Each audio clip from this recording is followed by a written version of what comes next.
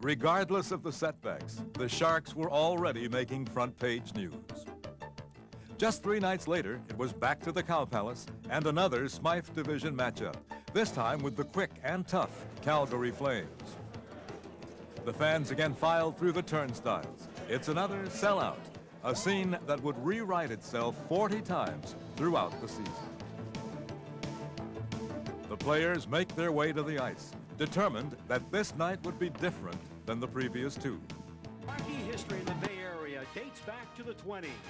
The Oakland Seals joined the NHL 24 years ago, but they were driven to extinction.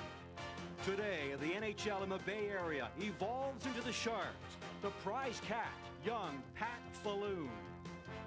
He and the Sharks wore their Pacific Teal jerseys for the first time on Friday in Vancouver. The history books will show former Flame Craig Coxe scored the team's first ever goal in a game the Sharks lost. The NHL returns to the Bay Area in spectacular fashion the following night. An opening ceremony complete with a laser show. A tough act for any team to follow, especially for the Sharks, preparing for a season-long battle in the tough Smythe division. So far, the Sharks' first two games have been tough, scoring too few goals and lose two in a row.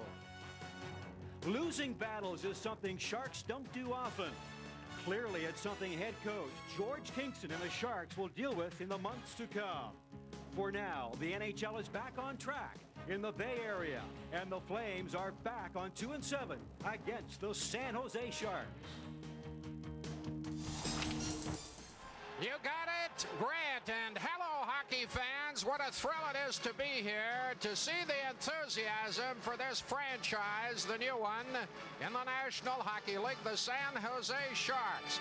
Perhaps to some degree lacking in talent, but certainly not in enthusiasm. And the crowd, for a crowd of 10,000, sounds like a mighty throng. It's a delight to be working again, too, with Harry Neale and Harry, we're looking forward to an interesting night. We have uh, Brian Hayward in goal for the Sharks, the nine-year NHL veteran with 140 wins thus far.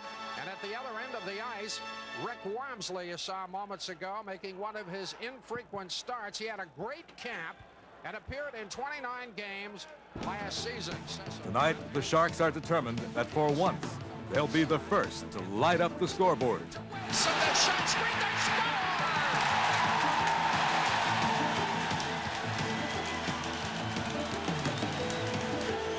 David Bruce, the most valuable player in the International Hockey League last season, and a 64-goal scorer with the Peoria Rivermen, gives the Sharks something they've not had before, the lead.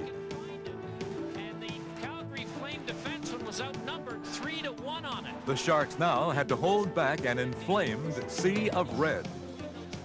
The Flames managed to wrestle the lead away with the next two scores, but goaltender Brian Hayward withstood an avalanche of 22 shots in that period to keep the Sharks in the game. Well, I, I think we were all playing on emotion that game. The, the arena was going crazy. Calgary at the time, everyone was picking them to be one of the favorites to win the Stanley Cup, and it hasn't worked out that way, but they were considered at that time one of the best teams in the league, and we were hanging in there. Uh, they were getting lots of chances to score, but we were still hanging in the game and hanging in the game. And you know, you just wanted to kind of survive that first period, and you knew that uh, the younger players would kind of collect themselves and rebound and, and play well if we could stay in the game. One of those younger players, namely first-round draft pick rookie Pat Falloon, made his own history in period two.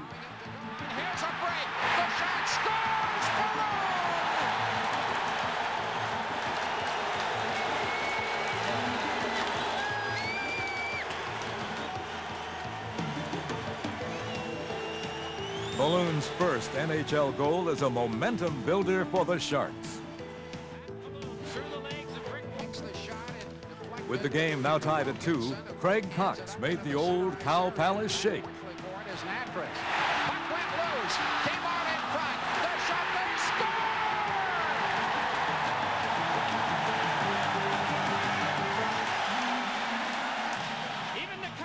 What seemed so remarkable was that Coxe, a journeyman player, had just 12 goals in 225 NHL games coming into the season.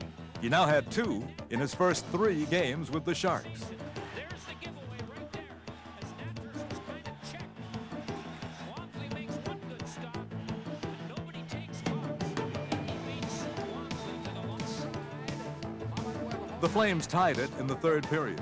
But with little more than three minutes remaining in regulation, centerman Kelly Kisio stepped up to center stage.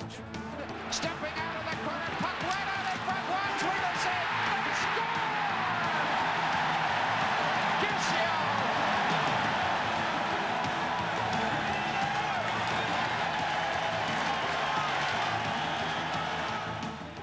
It was myself, Kelly Kisio, and Pat Falloon on the line, and uh, we were fighting for the puck behind the net, and uh, we got it out to Patty in the corner, and uh, I think it was uh, Suter that came down uh, to check Patty, and uh, Patty kind of took him out of the play, which enabled me to pick up the puck and, and come around the, the top of the circle and get a shot, and Kelly got the rebound and put it in, and uh, it was a great feeling. It was late in the game, and we knew we had a chance to, to get our first win.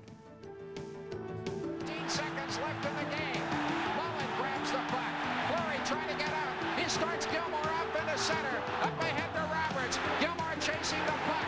There's two seconds remaining. They go to the corner. They bunch up there. And the San Jose Sharks have won their first game in franchise history.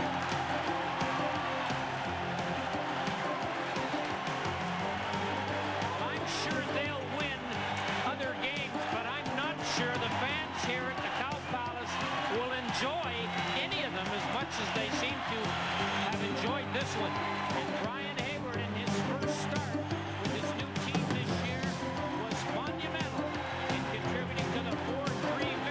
For the entire organization, the victory couldn't have been any sweeter.